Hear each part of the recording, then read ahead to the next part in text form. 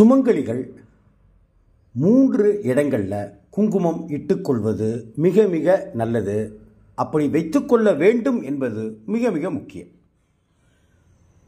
ஒரு பெண் சுமங்கலி பெண் அவள் தன்னுடைய நெற்றியில் மு- குங்குமம் வைத்துக்கொள்ள வேண்டும்.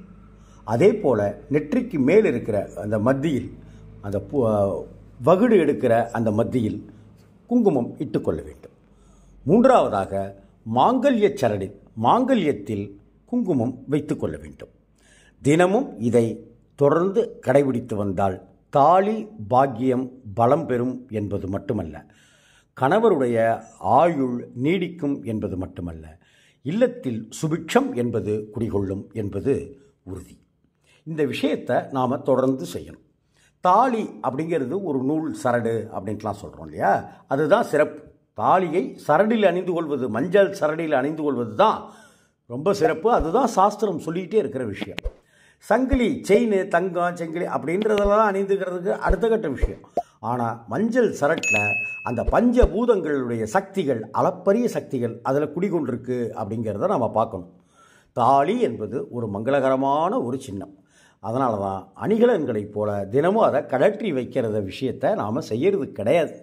இன்றைக்கி தாலியே கட்டிக்கிறது கிடையாதுங்கிறதெல்லாம் வேறு விஷயம். ஆனால் அப்படி கழட்டிக்கிறதோ அப்படி கழட்டி கழட்டி மாற்றிக்கிறதோ எடுத்துக்கிறதோ அப்படியான விஷயம் தாலி அப்படிங்கிறதுல நாம் செய்யக்கூடாது. அது எப்பவும் கழுத்தில் தான் இருக்கும். காலையில் அடுப்பு பற்ற வைக்கிறம்போது அக்னியை வணங்கி இ- இன்னைக்கு சமைக்கிற உணவில் ஆரோக்கியம் இருக்கணும் அப்படின்னு பிரார்த்தனை செய்கிற வழக்கம் எல்லா பெண்களுக்கும் உண்டு. நமக்கு தெரியாது. நம்ம அம்மாவோ நம்ம பாட்டியோ நம்ம அத்தையோ சித்தியோ மனைவியோ இப்படி தான் செஞ்சுட்டு வராங்கன்றது நமக்கு தெரியாது.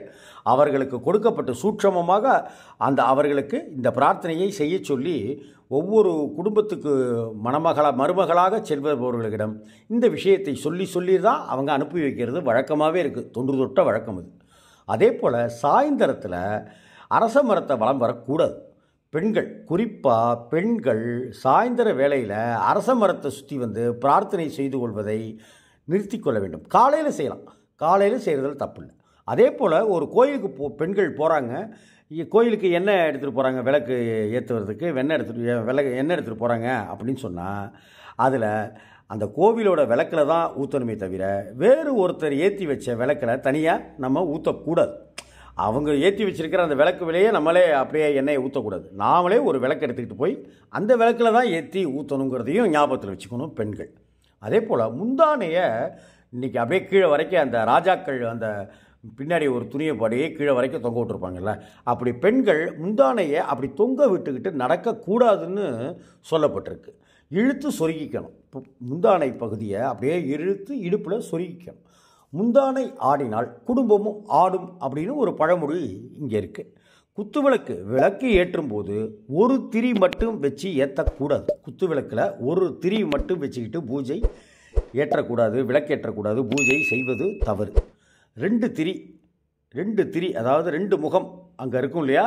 அதில் ரெண்டு திரியை வச்சு தான் நம்ம விளக்கேற்றணும் குத்து விளக்கு ஏற்றணும் அதே போல் தெற்கு பார்த்து நின்றுக்கிட்டு கோலம் போடக்கூடாது. முக்கியமாக இதை வச்சுக்கோங்க.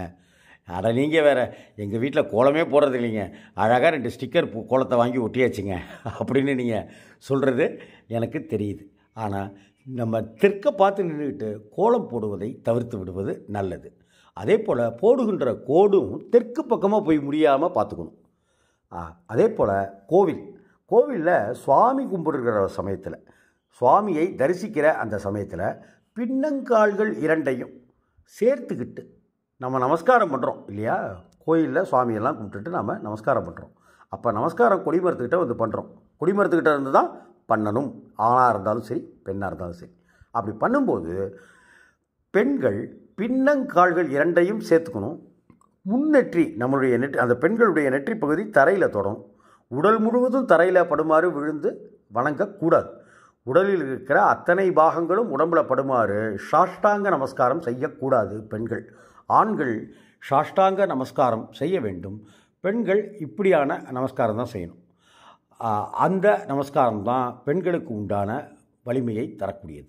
அதே போல் பெருமாள் கோயிலுக்கு நம்ம போயிருக்கும்போது தீர்த்தம் வாங்கும்போது இடது கைக்கும் வலது கைக்கும் நடுவில் முந்தானை துணியை அப்படி வச்சுக்கணும். முந்தானையினுடைய அந்த முனைப்பகுதியை நம்ம வச்சுக்கணும். எங்கே வச்சுக்கணும்? இடது கைக்கும் வலது கைக்கும் நடுவில் வச்சுக்கிட்டு தீர்த்தத்தை வாங்கணும். சுமங்கலிகள் குறிப்பாக இதை தவறாமல் செய்யணும். அப்படி தெற்கு முகமாக உட்காந்து மஞ்சளை தேய்ச்சி முகத்தில் பூசிக்கிறது அப்படிங்கிறத செய்யணும். குளிக்கும்போது. சுமங்கலிகள் குளிக்கும்போது மஞ்சள் தெற்கு பார்த்து உட்காந்துக்கிட்டு கொஞ்சோண்டு மஞ்சள் எடுத்து நம்ம முகத்தில் பூசிக்கணும்.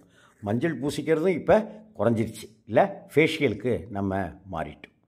தயவுசெய்து சின்ன சின்ன விஷயங்களை நாம் கடைபிடித்து வந்தால் குறிப்பாக பெண்கள் கடைபிடித்து வந்தால் நிச்சயமாக நம் வாழ்க்கை வளமும் நலமும் தரும். ஐஸ்வர்ய கடாட்சம்ங்கிறது தெய்வ கடாட்சம்ங்கிறது நம்ம இல்லத்தில் எப்பவும் நிறைஞ்சிருக்கும்.